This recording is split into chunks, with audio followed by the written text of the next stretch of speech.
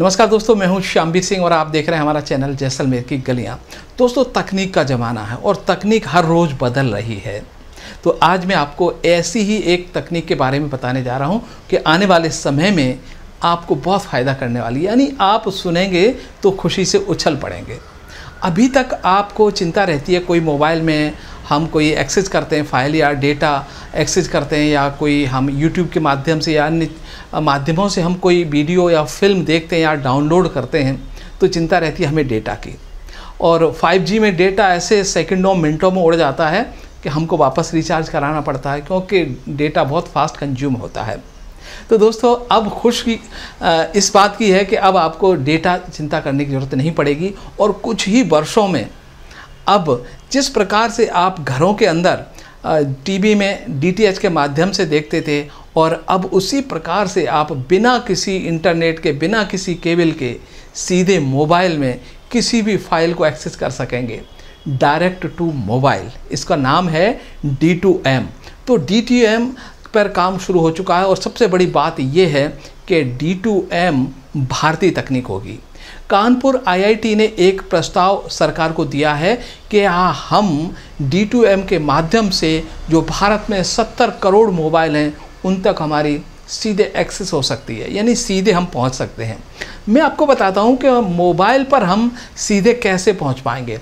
उसमें कुछ खामियाँ हैं और मतलब अभी तक तकनीक तो है, लेकिन थोड़ी जटिल है, थोड़ी मुश्किल है, इसको आसान बनाना अब आईआईटी कानपुर का काम है, जिसने प्रस्ताव दिया है कि किस प्रकार से हम सीधे मोबाइल तक पहुँच सकते हैं। देखिए डी जो डीटीएच है, उसके माध्यम से हमारे घरों तक फ़िल्में पहुँचती हैं। पहले हम केबल के माध्यम से देखते थे, उससे पहले एंटीना के माध्यम से देखते थे। दूरदर्शन वगैरह आता था, छत पर एंटीना लगता था और एक जगह से प्रसारण होता था और फिर एंटीना के माध्यम से टीवी देख लेते थे। फिर डी आ गया। डीटीएच के माध्यम से हम डायरेक्ट टू होम यानी सेटेलाइट हमारे घर तक पहुँच गया और सीधे हम टीवी पर कोई भी फ़िल्म देख सकते थे। अब क्योंकि उसका एक प्रॉब्लम यह है कि अभी हम सैटेलाइट से सीधे संपर्क तो कर सकते हैं लेकिन उसके लिए हमें एक जगह स्थिर एक एंगल पर स्थिर रहना पड़ता है। क्योंकि ऊपर जो सैटेलाइट है वो खास एंगल पे अपनी फ्रिक्वेंसी छोड़ता है। तो वहाँ पर अगर सही एंगल पे एंटीना होगा तभी हम आ, सिंगल रिसीव करके टीवी पर देख पाएँगे। मोबाइल क्योंकि चलता फिरता आइटम है कभी यहाँ आए कभी वहाँ आए कभी बस में सब जगह सैटेलाइट कैसे पहुँच पाए और बिना किसी एंटीना के इसी पर काम चल रहा है। तो देखिए, अभी हम जैसे मोबाइल होते हैं, कुछ हमारे, कुछ फ़ोन होते हैं, सेटेलाइट तो कहीं से भी हम बात कर सकते हैं, पूरी दुनिया में सेटेलाइट फ़ोन काम करते हैं। उनको किसी भी प्रकार का कोई टावर की ज़रूरत नहीं पड़ती है। इन सीधे हम सेटेलाइट से जुड़े रहते हैं। अब यही काम आम आदमियों के लिए, देखिए, धरती पर एक हमारा अर्थ स्टेशन होगा। यहाँ से सारा डेटा या फ़िल्में जो भी हम लोगों तक पहुँचाना चाहते हैं, वो सेटेलाइट को दिया जाएगा और सेटेलाइट के माध्यम से हर मोबाइल तक ये पहुँच जाएगी। अब आईआईटी कानपुर तकनीक में सुधार करके एक नई तकनीक ला रहा है, जिसका नाम है डी और उसका काम ये होगा कि अभी तक जो एक पर्टिकुलर दिशा में सिग्नल भेजे जाते थे, जो छतरी के माध्यम से पकड़ करके हम अपने टीवी पर देखते थे अब वो सभी दिशाओं में सिग्नल सिग्नल भेजे जाएँगे, जिससे कि हम चलते फिरते भी हम मोबाइल के माध्यम से उन सिग्नल को पकड़ करके और सीधे हम, हमारे जो वीडियो देखना चाहें, फ़िल्में देखना चाहें, न्यूज़ देखना चाहें, सीधे मोबाइल के माध्यम से देख पाएँगे। और सबसे खुशी की बात है कि भारतीय तकनीक होगी। तो जहाँ तक अभी हम इंटरनेट की बात करें तो दुनिया में इंटरनेट के बिना अभी कोई कार्य नहीं होता है और इंटरनेट का माध्यम जो बन चुका है वो लोगों तक मतलब आज की समय में एक ज़रूरत बन चुका है। और आने वाले समय में अगर डी टू एम आ गया एक दो साल, तीन साल के अंदर तो इंटरनेट पर जो अभी ट्रैफ़िक है वो काफ़ी कम हो सकता है। क्योंकि इंटरनेट पर सारा जो ट्रैफ़िक आता है, वो सारा ज़्यादातर वीडियो देखने वालों का होता है।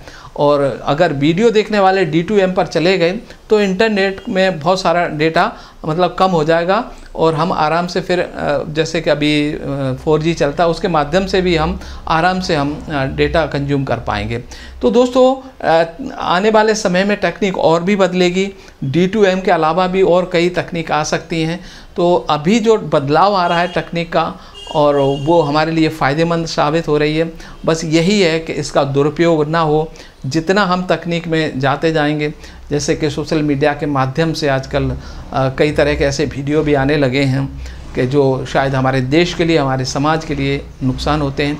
जो तकनीक आती है नई, इसका मकसद ये होता है कि लोगों का विकास हो, लोग एजुकेटेड हों, लोगों को तक हमारी सूचनाएँ पहुँचें तो सूचना क्रांति आने वाले और इस समय में और अधिक तेज़ी से फैलेगी डी टू एम के माध्यम से। यानी सब कुछ आप बिना इंटरनेट के अब अब सीधे आप अपने मोबाइल पर देख पाएँगे और रिचार्ज वाला जो प्रॉब्लम है, जो इंटरनेट ख़त्म हो जाता है, डेटा का प्रॉब्लम है, वो धीरे धीरे समाप्त हो जाएगा।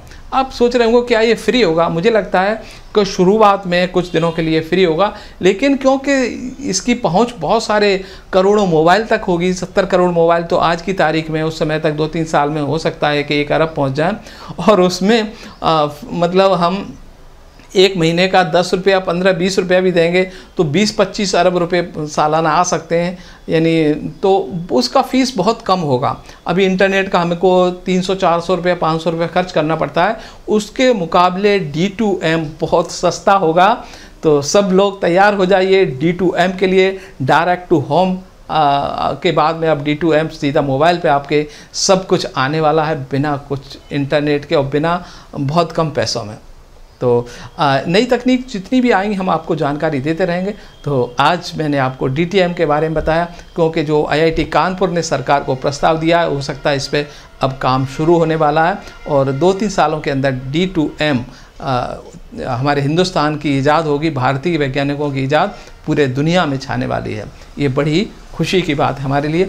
और चलते चलते मैं आपको चंद्रयान के बारे में बता दूँ। चंद्रयान पहुँच चुका है अपनी कक्षा में। मतलब जो मंजिल थी उसकी, अब वहाँ से एक कदम दूर है मत। चाँद की कक्षा में चक्कर लगा रहा है और अब ये चाँद की कक्षा धीरे धीरे इसकी कम की जाएगी। और जैसे ही ये 100 किलोमीटर चाँद के नज़दीक पहुँचेगा, फिर इसको 23 अगस्त को शाम साढ़े पाँच बजे के आसपास इसको लैंड किया जाएगा और लैंड करने के बाद इसका रोवर बाहर आएगा और वहाँ का जो ज़मीन है उसकी मिट्टी, परीक्षण वगैरह करेगा, फ़ोटो, वीडियो में भेजेगा। तो भारत के लिए ये युग एक तकनीकी युग, हमारे वैज्ञानिकों का युग, हमारे छात्रों का युग, हमारे जो मेहनत कर रहे हैं नई नई तकनीक भारत को आगे ले जाने के लिए उनका युग रहेगा, ऐसी मैं उम्मीद करता हूँ। तो आप भी कोशिश करिए हिंदुस्तान को आगे बढ़ाने में सहयोग करिए और बस खुश रहिए और किसी तरह से कोई दुश्मन हिंदुस्तान को पीछे धकेलने की कोशिश करेंगे, उनसे होशियार रहिए। नमस्कार।